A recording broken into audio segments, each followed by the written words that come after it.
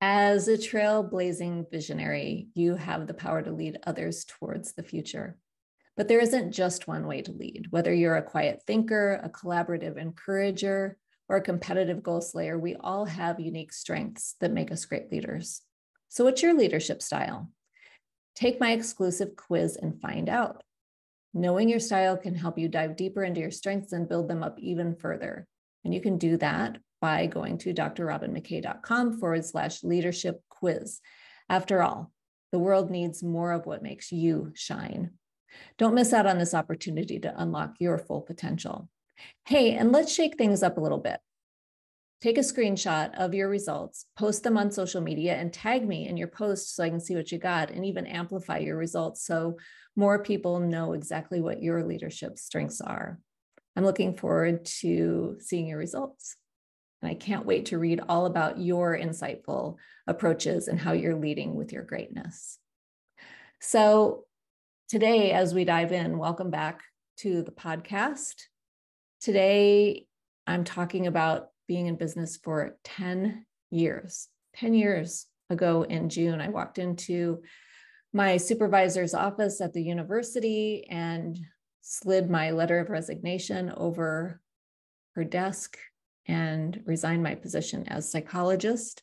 She was a little bit surprised. I remember her being surprised by my decision, but also very supportive of what I wanted to do with my life at that point. And, you know, one of the things that held me to the university for so long is I had all these people who I cared about. I had students who I was working with. And part of me was like, maybe I should wait until this first cohort of students graduates from the academy that I had helped to start. And then I had this one moment where I thought, how dare I teach these young people to follow their dreams, to go for what their heart's desires were, if I wasn't willing to do the same thing. So that was really the deciding point for me. And when I made the leap, I really never looked back. I will not, I will say that it was not without stress and it was not without uncertainty for sure. But this time, 10 years ago, I was packing to go to Paris to launch my business, to have a photo shoot, and to call in my first international clients. That's what's so remarkable. 10 years ago, I was doing that. And in the first six months of my business, I had generated $100,000 in sales. In the second six months, another 100K in sales. And away I went, I thought. But, you know, business has its ups and downs. And when you're a spiritual leader running a business that, you know, nobody ever taught me how to run a business in grad school, that was something I had to figure out on my own. And with the help of wise coaches and people who had been doing it doing that a little bit longer than I had I came out of burnout and in some ways a professional nosedive um, as my business started to languish because I was burned out. And so, what I want to do today, in honor of this 10 year anniversary, so weird to say that, but yes, it is 10 years, is I was guided to channel my business. This is, after all, the podcast becoming the channel. And while I talk a lot about channeling wealth consciousness, which is a frequency, I do want to spend some time today talking with my business and letting it, from its perspective, share with you the highs and lows and the lessons and the, the things that we wish we would have known early on. And maybe that can help you as well. That's my that's my hope. That's my intention is that you don't have to actually go through all the things that i went through. You can just learn from me apply it and move on. You don't have to you don't have to have the experiences. You can just learn the lessons vicariously through me. I'm a 3-5 generator in human design and and that 3-5 is about being a role model and being sort of the one who is out pushing the edges and going out and doing stuff and coming back and telling the people about what happened and how things happened, all in the service of allowing you to not have to go through the things that I experienced. You can just sit back with your popcorn and in some ways watch the show uh, live and learn from my experiences and that's my hope for you today so uh, give me just a second and let me just call up my the consciousness of my business here and then we'll go ahead and dive in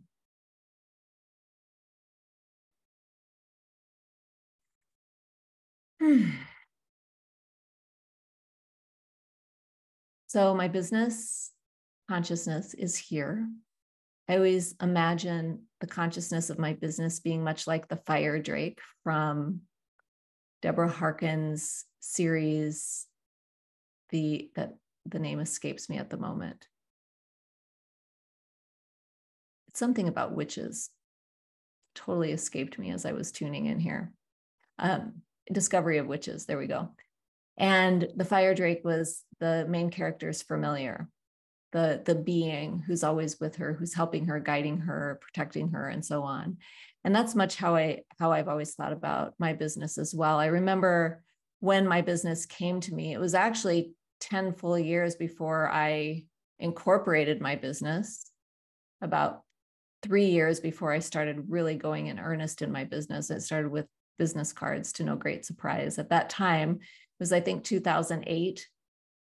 We didn't have social media, we didn't have big platforms, anything like that. It was still very bare bones. I think we had YouTube and Facebook, and that was about it, and MySpace, but you know, whatever. And um, so I started just with business cards and I started offering readings and Reiki sessions and doing neo interpretations, which is something that I still do to this day. But my business came to me all those years ago in my tiny cottage in rural Missouri, in the in the hills really of Missouri, outside of Columbia, where I was living for the year for my postdoc to write my dissertation. Didn't have cable, didn't have internet, very bare bones basic. Uh, it was a cottage that was built, I think, in the 1940s, and um, such a precious time. It was such a precious time, and my business came to me then. I remember that. Um, and so since then, you know, obviously a lot has changed. I think back then I was charging like $75 for my Reiki sessions and my readings. And that was a lot because even with my PhD on my postdoc, I think I was making like $12 an hour or something like that.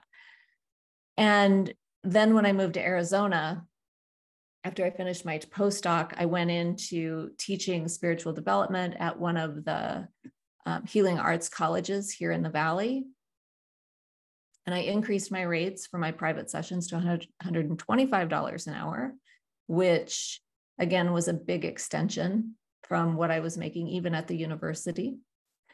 Um, but you know, the the the business of, of my spiritual practice, I'll say, was spotty at best. It was something that I felt like I was doing a lot of heavy lifting with. Um, I wasn't making a whole lot of money from it. And I was really quite occupied with my work at the university as a young psychologist as I was getting my feet under my under me there and I was developing my women in science and engineering program my business was always kind of running parallel to my career so the first logo design for my business came in in 2009 and it was called smart girl modern goddess which i still love and i actually really love the logo as well my first website I developed back then. And I thought I had to have all of these bells and whistles before I could actually do my work. And I think that as I reflect on that and I tune into my business now, I think one of the things that I wish that I would have understood is that you really don't need a whole lot to start your business. And there are a lot of externals, a lot of superficial things that people say that you need in order to start your business that you really don't need. You don't necessarily need a website. A lot of businesses, even mine today, my executive coaching practice in particular, is largely referral based. The women engineers chat with, with each other about who's worked with me and who needs to work with me and for whom it's time to work with me. Um, and in the circles that I'm in, I have a lot of trusted allies and colleagues who are at the multi six, seven, and even eight figure marks who refer clients to me. So referral is a big piece of the puzzle. And, you know, listen, the world of entrepreneurship has changed since I conceptualized the business to start with since the business came to me. But I think that that's one of the barriers, even now, if you're starting a business or thinking about starting a business that has a spiritual or transformational focus, is that you think you have to do all of these things first. You think you have to check all the boxes first in order to actually go out and do your work. And the truth is quite the opposite. The matrix would want you to think that you have to check all the boxes before you can do the thing. But in the etheric, which is where I channel from, which is where I create from, in the etheric, which is where my business is located, all of those things can be happening simultaneously and even in reverse order. You can just do your work. And along the way, build your website. And along the way, do the other things. And the reason that I'm getting at this is because one of the beliefs is that you have to spend money in order to make money, that you have to sometimes even go into debt in order to pay for the business. And that is one of the things I wish that somebody would have told me all those years ago, or that I would have figured out. But this is something that I want to pass on to you today is that you actually don't have to go into business. Uh, you don't have to go into debt to have a thriving business. And you can ask the business and intend the business will support itself as fast as possible. Now, that doesn't mean that you don't invest in yourself and you don't invest in your business, but it does mean that you set up the expectation that you get the ROI on your investments as fast as possible and as effort, effortlessly as possible. See, I didn't know that. And it was one of those things I kept on thinking that if I just invest and I keep investing, that eventually I'll have invested enough that that will come back to me. Because I didn't understand the energetics of sacred reciprocity. And I think I was more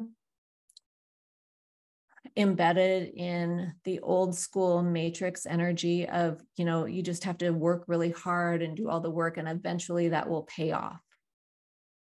And the shift that you're being encouraged to make from me and from my business is to shift from you do all the work, you invest all the money, and eventually it will pay off to collapsing time and space so that it pays off effective immediately, so that you get your return in a sacred way effective immediately. So that the money that you invest in the business comes back to you. And in the the sacred conversations and connections that you have with your business, you can actually tell the business what your expectations are. And the business will be more than happy to rise to that. Because here's the thing that I've realized and recognized about working in a spiritual business is that because the, the business has a consciousness, it's going to be responsive to your requests and it's going to be responsive to how you see it. In other words, it's a little bit of a reflection about how you see business. And it's going to morph into how you see it. So if you shift how you see business, that it doesn't have to be a time suck, that it doesn't have to be a money suck, but instead that it can be a thriving, living, expanding organism that more than pays for itself that's where you're going to find your sweet spot, even as you're starting business, or regardless of wherever you are in business. You might be in business just beginning, or you might be more seasoned like I am. But I think that that's one of the great lessons from this last 10 years is recognizing that I don't have to wait for an extended period of time to see a return on my investments, that those, those returns can back, come back very, very quickly and in surprising and miraculous ways. So, for example, whenever I've invested in a business coach, since I learned this particular principle of the sacred reciprocity and calling back the ROI as fast as possible, um, I've gotten referrals from the very coach who I hired for people to work with me that have more than paid for my investment in coaching. I didn't expect that, but that's how it came through. So there are a lot of different ways that you can expect your return on investment that don't have to do with you working really, really hard and having to wait a really, really long time in order to bring about the reciprocity that you're in business for. And the second thing that the business wants you to know is that you're in business. You are not a charity. You're not doing this out of the goodness of your heart. I mean, we are because we always do things out of the goodness of our hearts, but the business is here to make money. The business is here to be successful. And the business is here to invite you to rise into your own level of success that will match it. The business will not drop down to your level.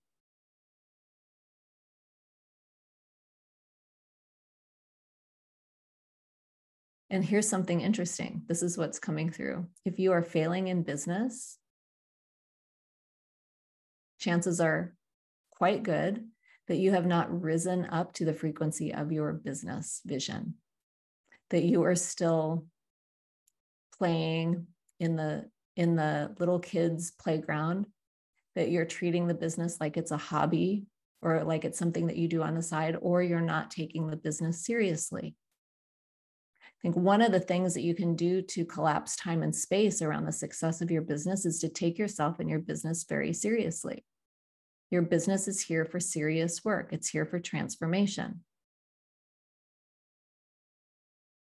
It is not here to hide in the shadows and it is not here to play small. It is here to make a difference. It is here to be a bridge on the ascension journey to the new earth.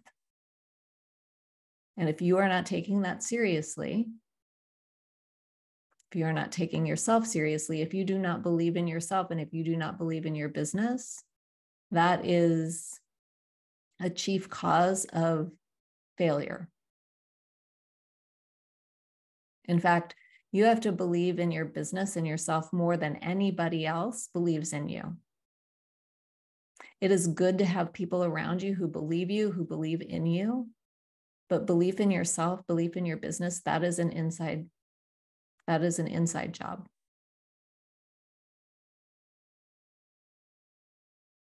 That is the thing that will make or break your success. If you are called into a spiritual business, you are called to express and experience your spiritual gifts through the vehicle of the business. You are not here to be a wounded healer. You're not here to be a poor healer that gets, you know, chickens in exchange for healing. That's not the way it works anymore. And it hasn't for generations, actually.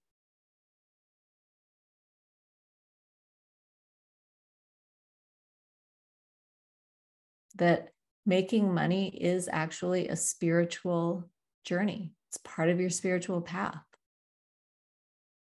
And the business is here to assist you on your spiritual path, to express your spiritual gifts, to express and amplify your energetic capabilities, your superpowers, to bring about transformation, to create results for yourself and for your clients. That is what the business is here for.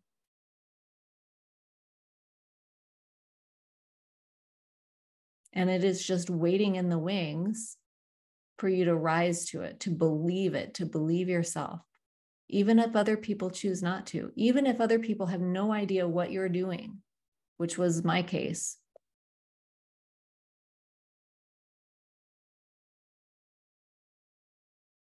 I endured a lot of criticism from my friends in the psychology community. What is she doing? Why is she writing about these things? Why is her marketing going this way? It was not fun, but I kept on going because I knew what I was doing. And I required myself to keep going, even though other people around me didn't understand what I was doing. Because I knew I was helping people. I was calling in the clients who were meant to work with me, who were meant to experience the transformation, the magic. And that mattered more to me than what the head of the department at the University of Kansas thought about what I was doing, for example. I'm just tuning into seeing what else the business is wanting to share.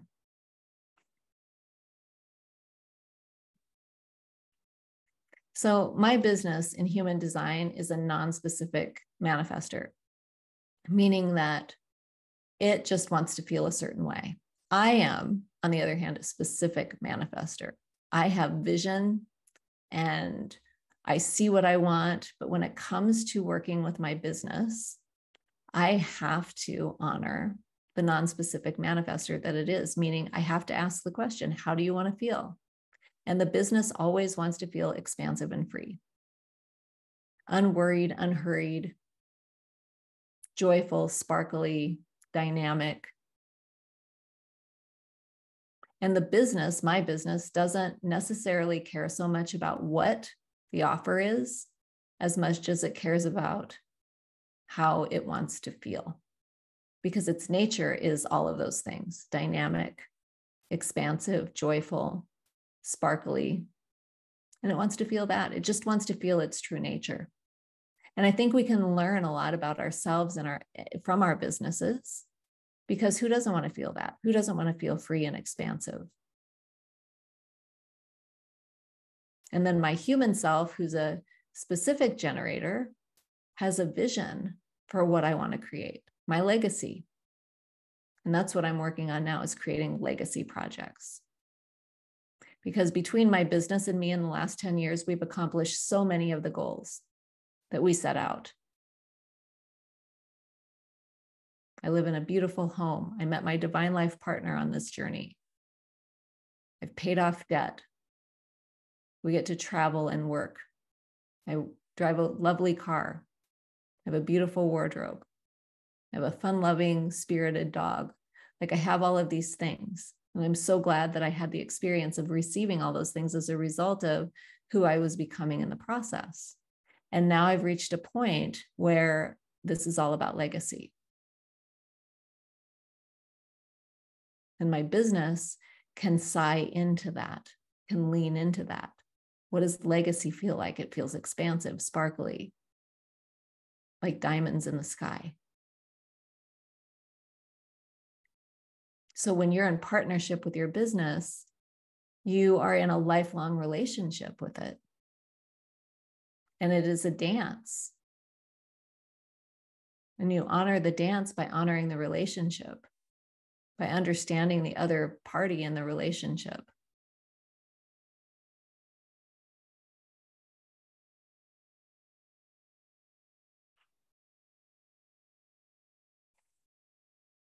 One of the major questions that I get asked a lot from spiritual entrepreneurs and those who are really on the spiritual journey, but know that they're meant to have a business as well, they tell me they feel so lost.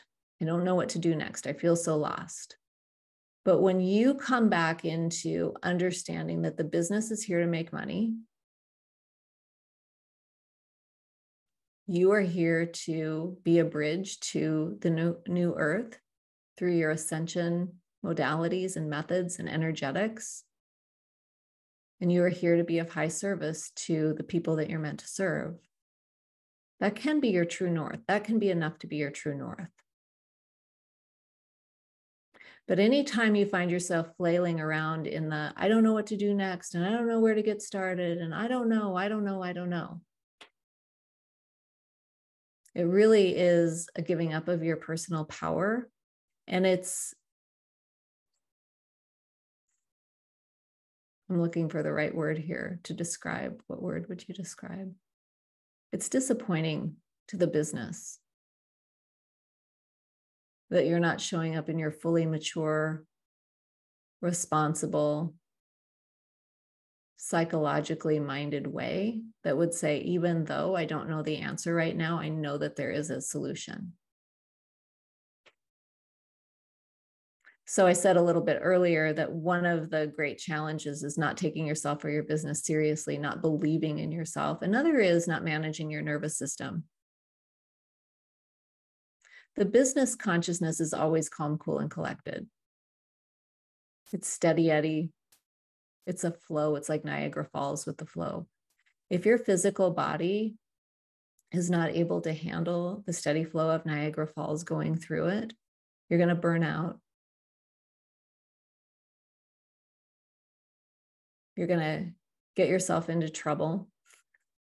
by saying something that you shouldn't, by making a decision that is dumb or costs you a lot of money. And we do that anyway along the way. But um, managing your nervous system, making sure your nervous system is resilient and healthy, making sure your vagus nerve is calm and soothed and the tone is good for it. These are the things that are very important for you to thrive with your business.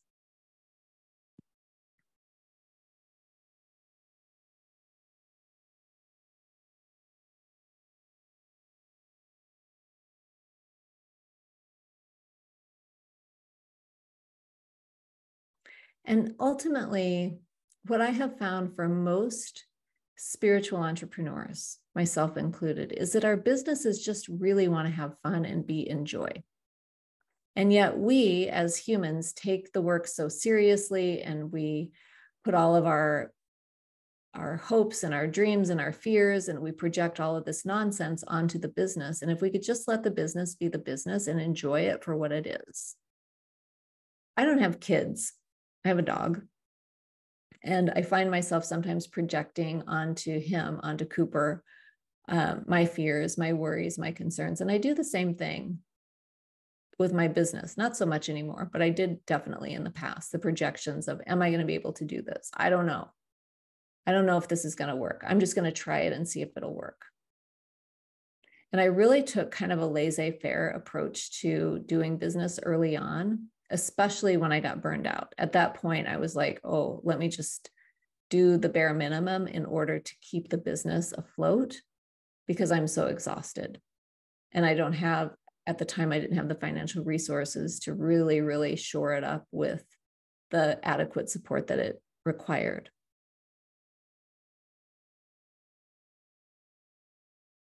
And I think that when we really look at the nervous system, when we look at our well being, our mental health, our psychological well being, these are the things that make a big difference in terms of how well you're going to be doing in your business long term. And then there are some things that I'm really glad that I learned right off the bat as I was starting my business. Because I did take myself seriously enough to know that I needed some training that I didn't have. Like they didn't teach me how to run a business in grad school, they taught me how to do really good therapy to understand evidence based and empirically supported treatments, right? To develop psychological theories, to do clinical assessments. They taught me all the, the technical stuff, but I didn't know how to run a business for sure.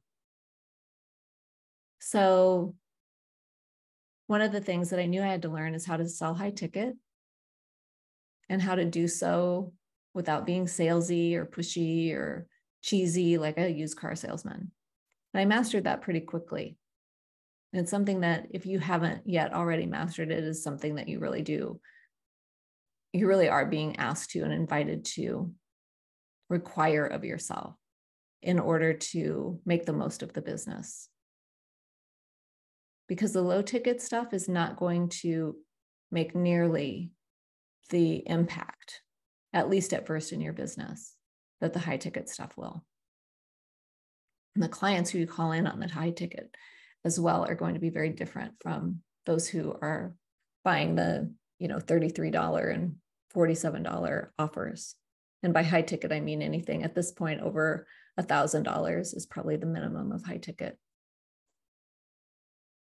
So, learning how to sell high ticket was really a key to my early success. And in fact, when I talk about wealth consciousness, we talk about three different areas the ability to attract, receive, and hold wealth. And I was really good at the first two. I was really good at attracting wealth, attracting money into my business.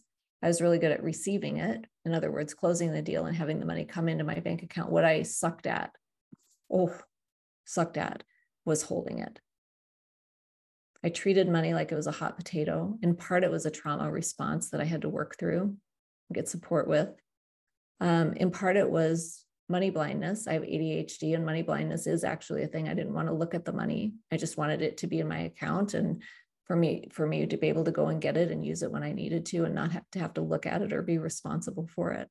So that was a big area of growth for me is the holding piece, the energetics of holding, but the, also the psychology of holding money and to be able to live from the the excess to always have a a supply to live from the overflow of the supply in my bank account rather than scraping the bottom of the barrel in my bank account, which I used to do kind of frequently, actually. Living paycheck to paycheck, being in feast or famine as an entrepreneur. These are all things that I grew very familiar with early in the business. And I think the business got real tired of me, to be honest. It started providing the bare minimum as well, mostly because that's all I could handle of it at that time with the burnout and the stress that I was experiencing as a single person with no backup plan. Didn't feel very supported. And what I came to learn is that I had to feel very supported in order to feel safe enough to, to grow my business to the extent that I have and to expand into what's next as well. And safety is, it's again, it's one of those inside jobs. You can always get support from people like me and my coaches as well. I worked with worked and have worked with Jennifer Longmore for years at this point, five years, I think I've been working with her. And it's always a growth process to holding more and more and more wealth and allowing yourself to feel worthy and deserving of the money that's sitting in your bank account when it is, and to not worry about it going away or somebody wanting to take it back, be mad at you and take it back or whatever it is. Um, and the business from the business's perspective, I think that it withdrew a lot of its essence from my life at that time simply because I wasn't available for it. I was so tired and traumatized and I had a lot of I had a lot of stuff going on emotionally and psychologically that I had to address in order for me to be healthy enough to lean into what was next for my business.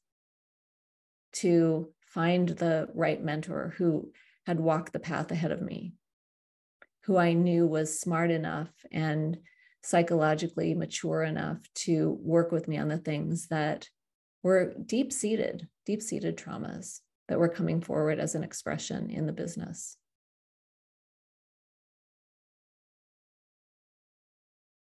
So when I think about the person I've become the last 10 years, a lot of it is thanks to being in business for myself. I don't think mm. that had I stayed in the corporate space, I would have had nearly the growth or the experience, and certainly not the financial reward that I have had over the last 10 years.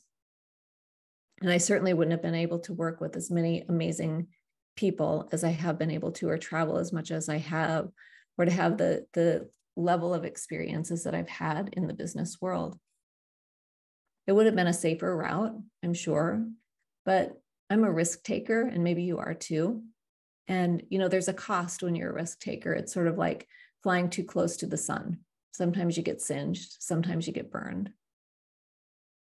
But the journey, the journey is so remarkable. And as I turn and face the future, the next phase of the journey, the legacy phase, really, of this journey, I am glad that I have my business with me. We still have a lot of growing to do. I don't always trust it. I worry a lot. It's kind of baked into my personality profile. I'm a worrier. Um, and the business just continues to invite me to lean into.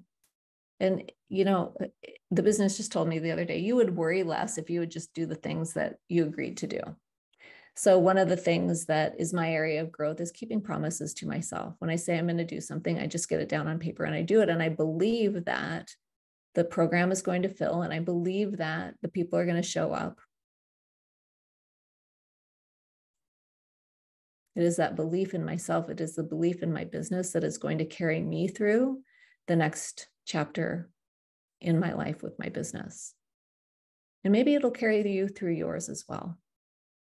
So, with that, I'm going to go ahead and close out for today. Thanks for joining me. If you would like to connect with me about working together as a spiritual entrepreneur who's on your journey, I would be happy to have a conversation with you about that. You can start that conversation by booking a consult with me. You go to drrobynmckay.com forward slash call. That gets you on my calendar. We send you over an intake form so I can understand your business, understand who you are, and make sure that I can support you in some way. If I feel that I can, when we chat, I'll make some recommendations on how we can work together. It could be as simple as doing a two hour Akashic Records for business reading on your business, or um, as extensive as doing a year long business development program for spiritual entrepreneurs, or anything in between as well. So if that's something that feels aligned for you, I'd love to have a conversation with you. Again, just go to Dr. Robyn McKay forward slash call and start the process by booking a call. And I will see you next time.